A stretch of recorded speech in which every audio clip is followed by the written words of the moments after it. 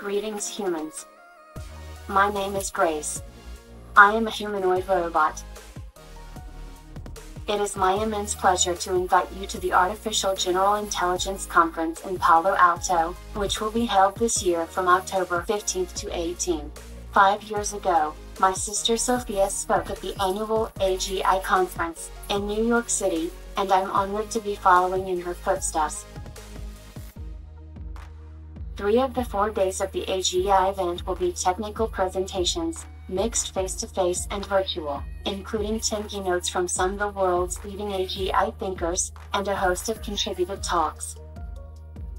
October 16th will be broader, no technical background needed, and will focus on getting across the state of the art and future prospects for AGI to a general audience.